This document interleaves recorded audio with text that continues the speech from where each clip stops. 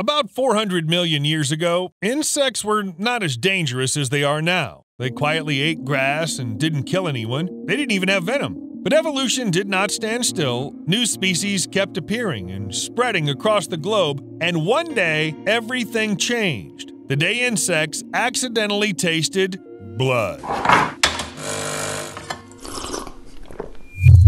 I'll give you a simple example. If you've tasted something sweet once, for example chocolate, then you'll probably want it for the rest of your life. This does not mean that you'll switch to a chocolate only diet, but let's be honest, most people have a sweet tooth. This is embedded in our genes, plus, we get addicted to sugar. Roughly the same thing happened with insects. The very first of them had no idea they can drink blood because back then there were no suitable animals on Earth. There are several main theories which all point to the fact that the first time the insects ingested blood by accident, they already developed suitable sucking mouth parts. And then just. Ouch! Oh, sorry.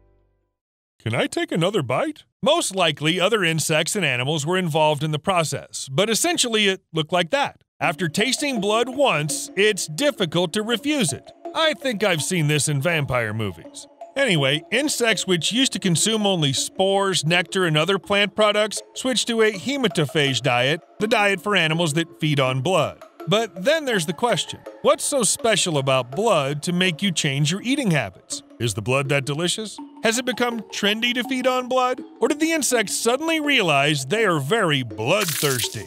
Okay, this doesn't happen in the wild. Feeding on blood is a real win for the predator. Just compare putting in the effort to catch prey, then subduing it and eating it, or quietly sucking blood somewhere in the corner, having lunch, and going on about your business. It's like walking into a coffee shop, grabbing your order, and leaving instead of fighting a barista for a coffee machine. Oh, yes, don't forget that even the strongest animals have a hard time struggling with blood sucking insects. Even dinosaurs are believed to have been bitten by the pests. Fleas, several dozen times larger than modern ones, drank their blood, and each bite felt like a subcutaneous injection. And dinosaurs couldn't do anything about it. What can you do with arms like that? Aw.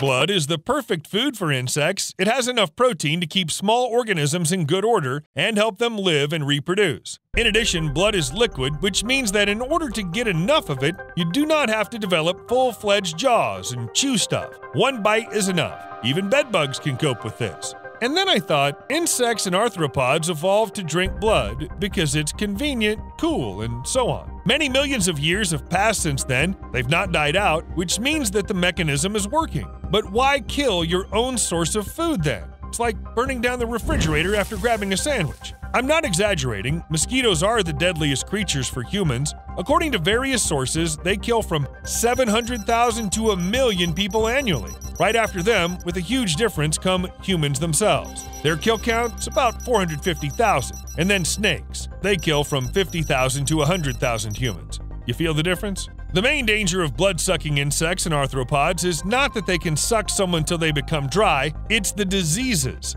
Ticks, for example, can carry nine different diseases at a time, from Lyme disease to Rocky Mountain spotted fever to tularemia. Can you die after being infected with them?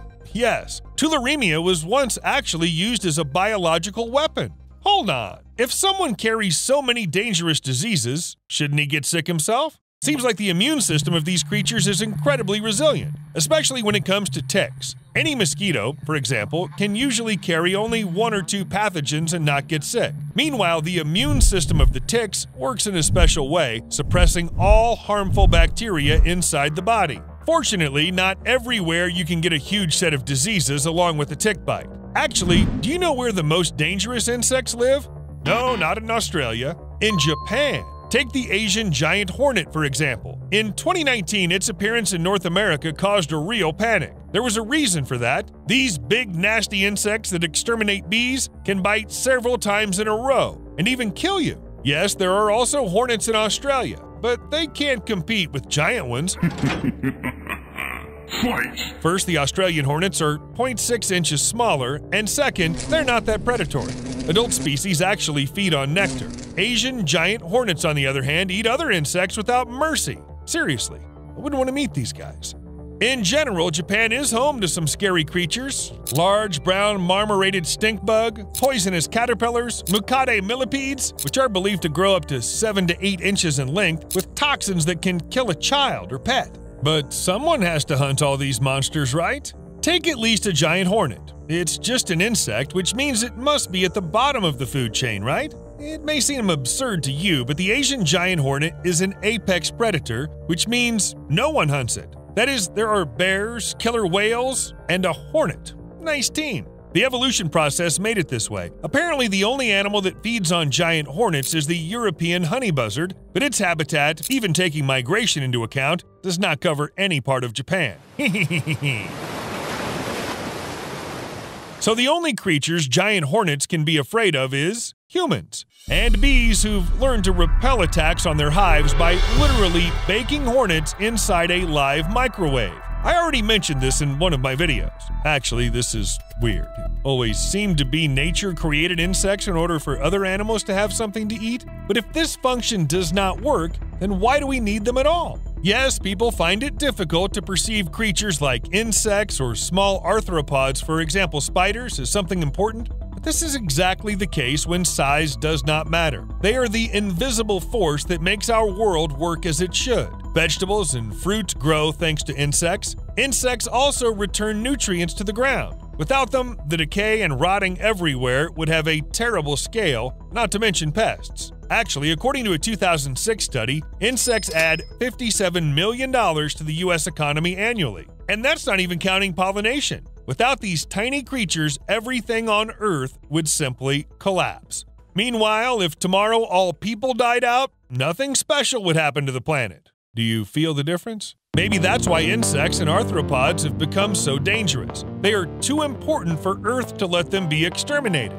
Take at least a giant hornet. If it needs to attack something that's not part of its diet, it'll use venom only for self defense, though it's always ready to defend itself. One bite is enough for a predator to understand. It's better not to mess with this striped buzzing thing. They say the bite feels like being stabbed with a red hot needle, and the pain lasts for several days. Apart from the fact that the chemicals in the giant hornet venom can destroy blood cells, muscles, and even cause kidney failure, however, a giant hornet bite will not kill a person without allergies. It'll take about 200 insects to do that. But not everyone needs to launch a group attack. For example, the Sydney funnel web spider is an arthropod considered one of the most toxic to humans. Its bite can kill an adult in 24 hours, let alone kids. Today, people have already invented an antidote.